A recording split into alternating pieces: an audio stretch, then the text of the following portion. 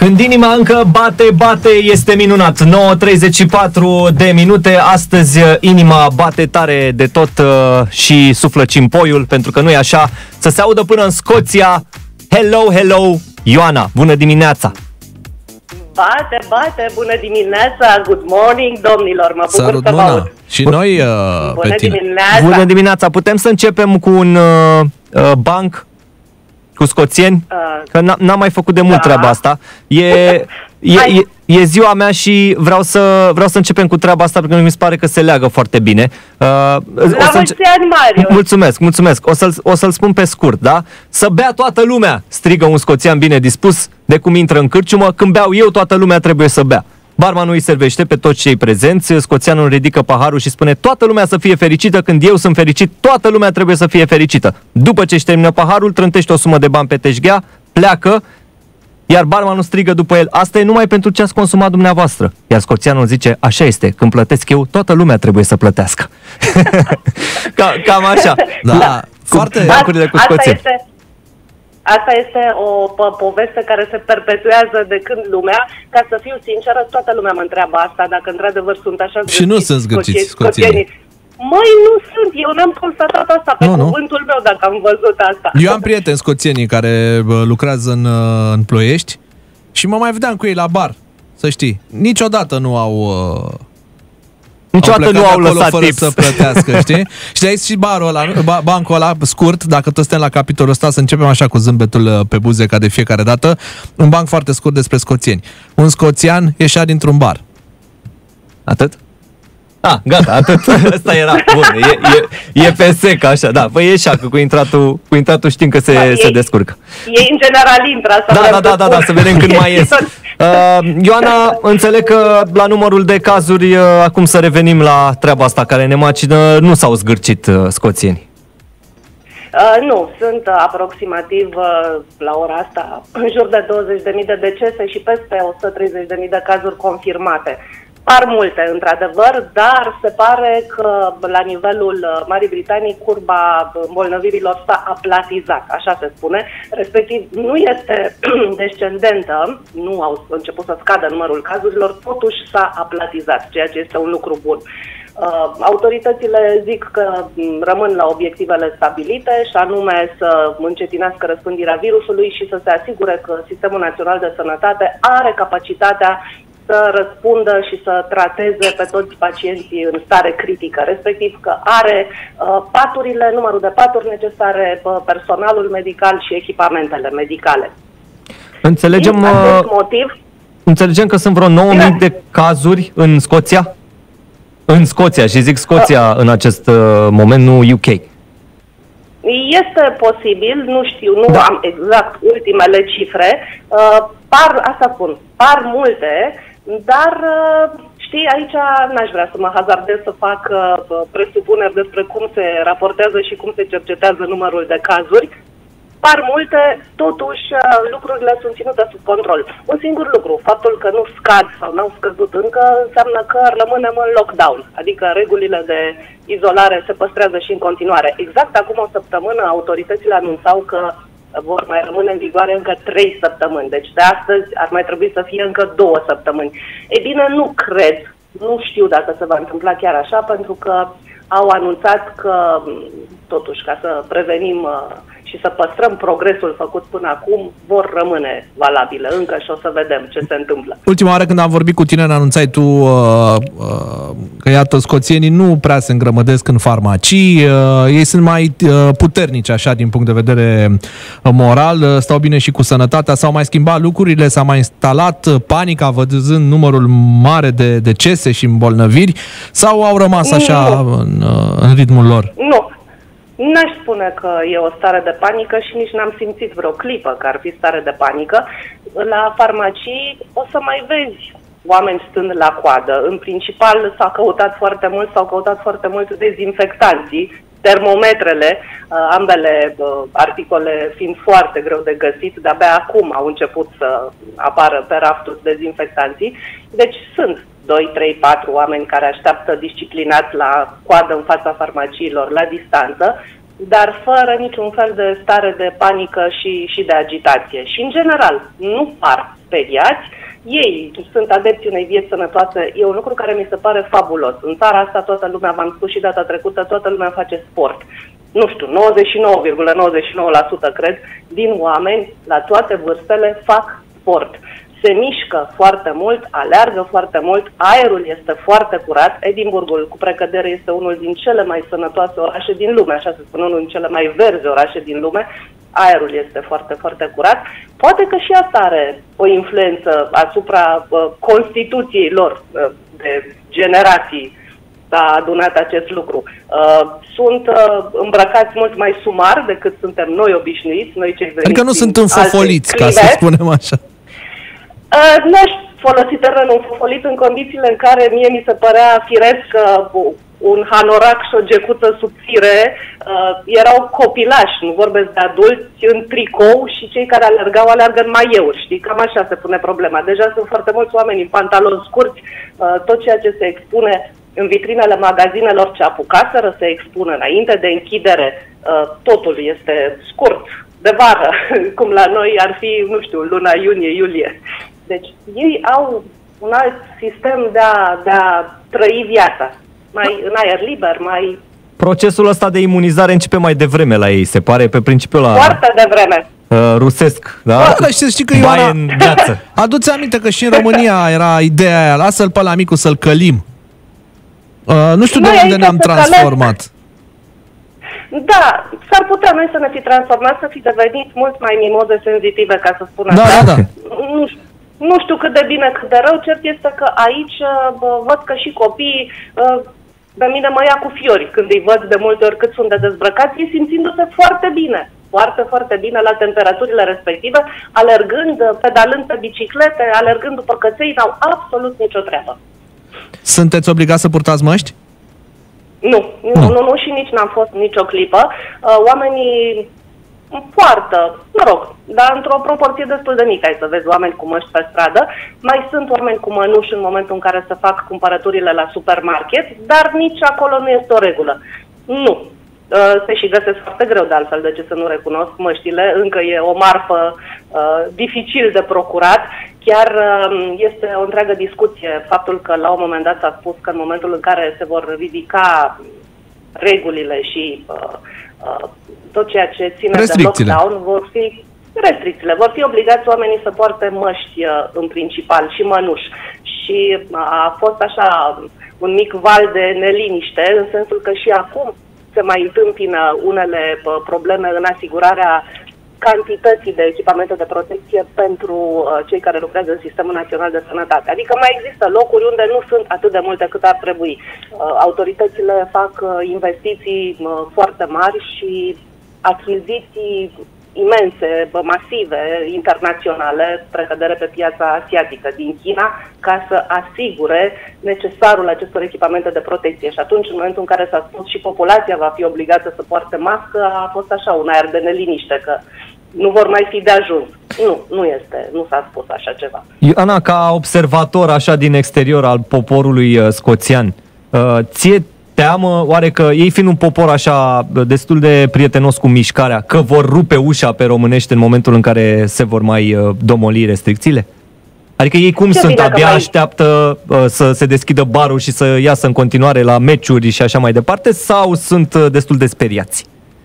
Mă bucur că m-ai întrebat pentru că uh, involuntar sau voluntar tot timpul fac comparații. Da. Nu o să rupă ușa pentru că nu stau închiși nici acum. Sigur că nu merg la meciuri, că nu sunt meciuri, sigur că restaurantele și puburile sunt închise. Lucru care probabil le lipsește, categoric. Dar nu stau închiși în casă. Cea mare diferență față de ce se întâmplă în România, din ceea ce văd pe Facebook și pe uh, programele de televiziune și ce citesc, este exact lucrul ăsta. Știți voi? Știți, cu siguranță, chiar dacă sunteți băieți, uh, oala aceea uh, magică, oala uh, sub presiune, oala minune. Da, da.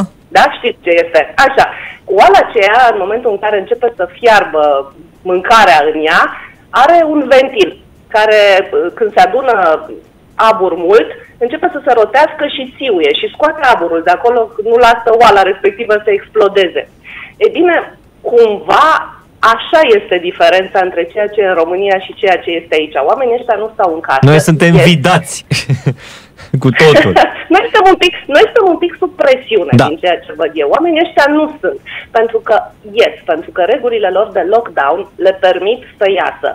Uh, și numai că le permit, au unde să iasă. Edimburgul, dacă o să vă uitați pe orice hartă, are imens de multe parcuri, parcuri foarte, foarte mari, spații verzi cât vezi cu ochii. Este incredibil. Și ca o comparație, bă, Edimburgul este cam de mărimea, ca și număr de locuitori, cartierului Drumul Taberei. Vreo 300 de mii, nu? Ori, uh, Cam. între, între 300 și 400 de mii cu cu ceea ce este în jur.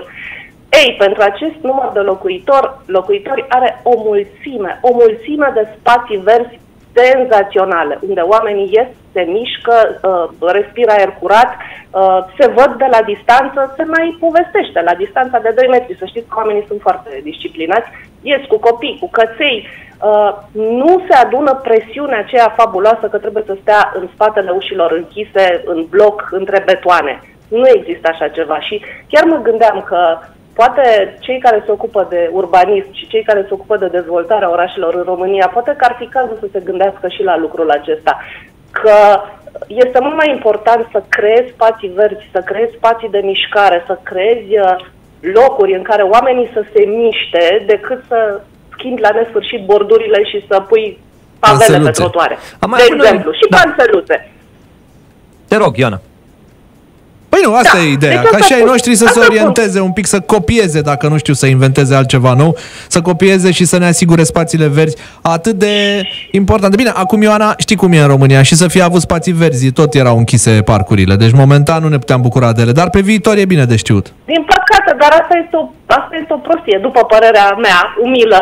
Uh, Este o prostie pentru că uh, punându-le la dispoziție parcurile, îi lași să se miște și reduci taman din presiunea asta. Și apropo de presiune, ies oamenii cu copii, ies cu uh, căței, aproape nu există familie care să nu aibă și animal de companie, uh, se mișcă, se simt natural, se suportă mai ușor aceste, aceste restricții Îți dau pe- dreptate pe care aici. trebuie să le... Îți dau maximă dreptate pentru că eu sunt unul dintre oamenii care în perioada asta chiar a făcut ceva mișcare. Nu că e covid și că am făcut special, dar era perio- primăvara de obicei mai fac mișcare, ies din hibernare. Însă observ, alergând în jurul blocului, într-un dreptunghi, da? Observ că mă întâlnesc Nu, cu asta mult este mai mulți criminal, da. oameni, cu mult mai mulți oameni care trec la o distanță considerabil mai mică de mine, față de cum era parcul din spatele blocului unde de obicei e gol, că lumea nu prea, nu prea e cu plimbările cel puțin aici în Pantelimon unde locuiesc eu. Aveam un parc în spatele blocului unde alergam și era perfect, nu mă întâlneam cu nimeni niciodată. L-au închis. Iar eu trebuie să alerg în jurul blocului și să dau nas în nas cu toată lumea. Păi e ok așa? Păi nu e ok, pentru că alergi pe străzi, alergi printre blocuri, Prin acolo praf. este cu siguranță praf Da. uh, și atunci, hai să zici că uh, răspândirea teoretică ar fi mult mai, uh, mult mai simplă decât să alergi în aer curat și prin verdeață. Apropo de asta, pentru că Murphy nu doarme, uh, de praf și de mm, alergat și așa, în Scoția știți că regula spune că plouă de câteva ori pe zi și exact așa se întâmplă. Uh, Eu am zis că n-am văzut așa ceva niciodată până n-am ajuns aici. uh, În 24 de ore să găsești toate cele patru anotimpuri de foarte multe ori și foarte multe ploi. Bun. Ei, de când uh, e în funcțiune lockdown-ul, ce să vezi, nu plouă. Cred că a plouat de două ori. Este absolut incredibil. Este vreme uh, uscată, cum spun ei aici, uh, de foarte multe ori vreme frumoasă, nu e foarte cald, aici la 20 de grade se spune că a venit vara, de adevăratele, dar nu plouă și atunci cum să ții oamenii ăștia în casă? Aia e, oamenii ăștia vezi? obișnuiți, obișnuiți să fugă și când toarnă cu găleata. Da, și să este iasă obișnuit. afară. Ploaia, cum se spune și la fotbal, ei pe ploaie se simt cel mai bine. Vezi, doamne, doamne, are în perioada asta, vorbeam și cu Dan Boanță ieri din Italia, are un umor britanic, așa, ne dă vreme bună. Ia, poftiți, bucurați-vă. Uh, Chiar, chiar comentam uh, asta, într-adevăr, doamne, doamne, ne arată, uite, vedeți cât e lumea de frumoasă, totul este în floare și aici, uh, arbuști, uh, copaci, e plin de flori. Scoția este, aș zice că în afară de faptul că e o țară a cimpoaielor și a childurilor, este o țară a florilor, este o invazie de narcise, acum primăvara cel puțin. Ori încotro întorci privirea, sunt, e o mare de narcise și de alte flori. Nu arată. Măcar le Uitați-vă cât puteți este de admira, vă frumos. puteți bucura de asta. Da, bine, revenim. Miroase a flori, da. Dar Miroase a flori. Revenind uh, un pic, Ioana, la ce ai spus tu, să știi că măsurile astea care s-au impus în România țin cont și de specificul poporului. Că scoțienii sunt mult mai, uh, uh, cum să spun, uh, antrenați sau uh, trecuți prin, uh, prin situații, iar autoritățile știu cum se comportă, ce li se potrivește și ce, ce reacție au, au în anumită măsură. Dacă în România parcurile ar fi fost deschise, s-ar fi întâmplat ce s-a întâmplat după mă rog, instituirea stării de urgență, nu știu dacă ai văzut la televizor, în pădurea Băneasa, mai da, oriunde lumea a invadat uh, parcurile respective, mașină lângă mașină, om lângă om, nu se mai respecta nicio distanță. Adică cred că aici se, se pune un pic problema. De așteptăm și noi cu interes data de 15 mai, când autoritățile în România vor ridica ușor, ușor restricțiile. Probabil că parcurile uh, vor fi printre uh, Uh, cele, acele zone deschise uh, cu mențiunea că va trebui să purtăm uh, mască și să păstrăm distanța. Dar aici vreau să, să insist. Noi suntem un pic mai indisciplinați. Mare, mare dreptate aici. Asta este un lucru pe care l-am spus și data trecută și îl repet. Oamenii aici sunt foarte disciplinați, da. sincer. Au, au în spate ani mulți de uh, obișnuință de a respecta regulile și se respectă cu adevărat. Poliția nu are treabă. Eu n-am văzut în toată perioada asta poliția oprind pe nimeni uh, ca să... Bine, nu, ave, nu există nici acele formulare cum sunt la noi. Nu avem declarații, nu asta voiam să te întrebăm. Nu, nu există declarații, nu, dar nu e cazul, cum să spun. Deci oamenii își văd de treabă. Acestea sunt regulile, pe astea le respectăm. Sigur că nu vorbim în valoare absolută, ori exista și excepții, că oamenii sunt oameni până la urmă. Dar ca notă dominantă, asta este ideea. Așa trebuie să facem, așa facem. Se respectă și asta e situația. Iar apropo de respect, uh, mai există un aspect, pentru că este joi, Uh, se va întâmpla și în seara asta ceea ce se întâmplă de săptămâni de zile încoace, la ora 8 fix, ora UK.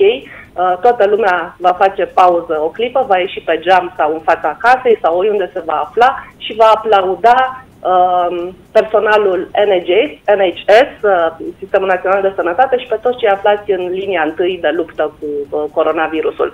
Am văzut asta în fiecare joi seara. Uh, se aplaudă. Uh, săptămâna trecută eram într-un supermarket, într-un hipermarket la ora respectivă. Oamenii au lăsat cărucioarele, au pus jos baxurile cu apă, cu ce cumpăra fiecare și au aplaudat fără să fie un exercițiu de imagine, nu-i vedea nimeni, era un interiorul unui magazin, lucrători, clienți, toată lumea, câteva secunde bune a aplaudat. Asta înseamnă respect. Da, este pariul pe care lumea trebuie să-l câștige prin solidaritate. Fie că este pentru medici, fie că este pentru, pentru cei aflați în suferință în uh, perioada asta. Și pentru că noi mergem din țară în țară și întrebăm uh, treaba asta, ce mai faci tu, Ioana? Ești bine?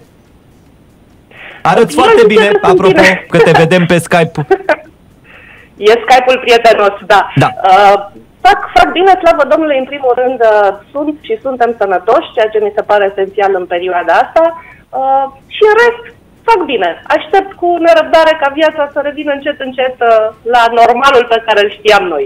Așteptăm să te și vedem, poate se deblochează și uh, situația asta teribilă cu, uh, cu deplasările în afara, în afara țării aștept cu nerăbdare, mai ales că familia noastră este răspândită așa în foarte multe părți, să ne adunăm și să ne vedem față în față și bineînțeles să vă văd pe voi da. și toți prietenii. E mare dorul, să știi, e mare dorul atunci când ești departe, noroc cu Skype-ul, cu WhatsApp-ul, că poți să te simți un pic mai aproape, pentru că altfel ar fi, m-am și gândit, ar fi fost foarte complicat. Această, această perioadă ar fi fost tare grea. Prin minunea tehnologiei care îi mulțumim uh, Ioana Brușten din Scoția alături de noi, uh, păi să te bucuri de mirosul de, de narcise, să te bucuri de peisaj. De narcise și de flori. De flori în general. Mă bucur în fiecare zi. Mă bucur în fiecare zi și de aerul curat, care atunci când este puțin mai frig afară, ceea ce se întâmplă des, este exact ca aerul de la noi, de la munte. Și poți să dai din casă să ne spui dacă voi, uh, cu ghilimele, bruștenii, v-ați apucat de alergat. Măi, nu de alergat, dar mergem. Uh, nu, mie recunosc, nu mi-a plăcut să alerg niciodată, foarte tare. Uh, Să că și mersul pe jos e bun. de marș. Da, un marș în pas vioi așa, dar asta înseamnă 4, 5, 6, 7 km, ceea ce zic eu că e ok. E, e bine că e contagioasă toată hiperactivitatea este. asta a scoțienilor. Și să că știi că se ia. este, ți se face rușine. Da, da, Să da, face exact. Păi, dar rușine ce să fac eu? fii Stau în casă sedentar. și oamenii ăștia aleargă. Mulțumim foarte mult, Exact. Ioana, să ne auzim cu bine, Cu cât tot mai dragul. uh, curând Aveți și mai grijă ales de să ne voi, vedem vă cu bine. pupăm, uh, ne mai, uh, ne mai auzim, te urmărim și Să fiți uh, pe sănătoși. Facebook, uh, scrierile tale. Și pe blog, din pe când blog. în când mai puteți da. Da, da, da. exact. Mai scriu acolo despre ceea ce văd și ceea ce mi se pare că seamănă sau că nu seamănă. Poate învățăm și noi ceva, uh, cum spunem uh, de fiecare dată, cu părere de rău de la alții, din păcate. Uh, Dar asta este. Mulțumim mult, Ioana, vă pupăm, aveți grijă de voi, să fiți sănătoși și să treacă repede perioada asta, uh, să ne reinventăm fiecare în parte și Hai vedem că noi ce este. Era să zicem de Doamne 10 ori, ajută! era să zicem de 10 ori România cu tine. Da. da. Aoleu, faceți, nu mă faceți să-mi fie și mai dor decât atât. Nu mai zicem, nu mai facem. Uh, Ce mai faceți? Sunteți Vă bine. pup. Te pupăm Este și noi. campania noastră exclusivă București FM. Mâine merge către uh, Germania. Mâine vă întâlniți cu, cu Alex. E puțină publicitate, nu de altceva, dar de la șampania asta de copii. Da, e mahmur. Da, Trebuie să la o odihnească. Magurel. O zi frumoasă tuturor, 9.55 de minute, ținem de 6 până la 10 și mâine unde mergem? La Timișoara. Timișoara, bun, de 10 ori România, acolo rămâneți uh, în continuare aici pe București FM. Nu uitați de